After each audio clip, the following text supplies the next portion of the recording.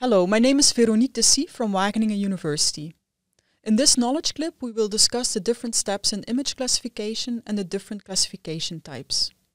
Spectral image classification uses the spectral information represented by digital numbers or pixel values in one or more spectral bands and attempts to classify or label each individual pixel based on the spectral information.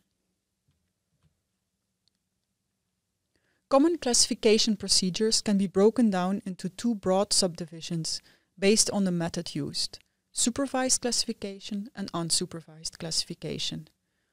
In a supervised classification, the analyst identifies in the image homogeneous and representative samples of the different land cover types of interest. These samples are referred to as training areas.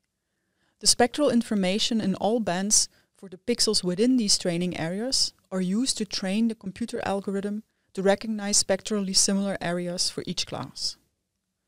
For each unlabeled pixel, the distance in the feature space to the training classes is determined and the pixel is assigned to the closest training class. There are multiple ways of defining this closest distance, depending on the chosen classification algorithm. Also, a threshold can be applied so that pixels with a relatively large distance to all training classes are not labeled or get a label like unknown or unclassified. Unsupervised classification, on the other hand, does not make use of training areas. Spectral classes are grouped based only on the spectral information in the data and are then matched by the analyst to classes such as land cover classes, if that is possible. For this, clustering algorithms are used to determine the natural or statistical groupings or structures in the data.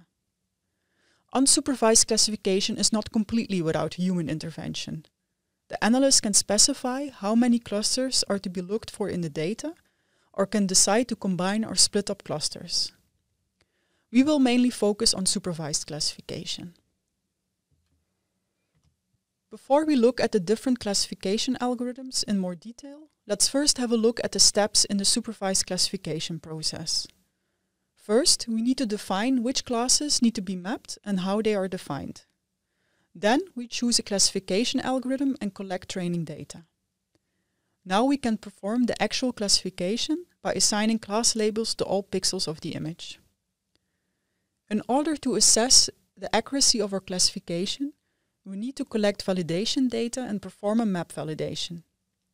This is important for the next step, evaluation of the classification result. This evaluation can be done by looking at the classification map, for example, do the spatial patterns match, and by looking at the confusion matrix that was created during the map validation. If necessary, the classification can be adjusted to yield a better classification map. An important step in image classification is defining the classes. Which classes need to be mapped and how are they defined? It is important to define classes in such a way that they don't overlap and are mutually exclusive. An example of a land cover class is forest, which can be defined based on canopy cover and tree height. You can make use of existing classification systems or languages to define classes in a systematic way. The land cover meta language developed by the Food and Agricultural Organization is a common reference for systematic land cover characterization. Let's now have a look at the different types of supervised classification algorithms. Non-parametric algorithms, such as minimum distance to the means and nearest neighbor, are based on Euclidean distances in the feature space.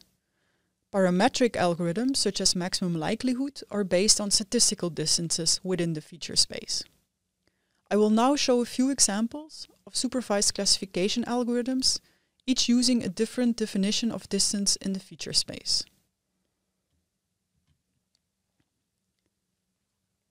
In the minimum distance to the means classification, the center point or mean value of each training cluster in the feature space is determined. The distances of a new unlabeled pixel to these centers are calculated. The pixel is then assigned to the cluster with the center nearest to it. On the slide, a feature space is shown with colored pixels belonging to a specific training class or cluster. The mean values for each cluster are represented by squares.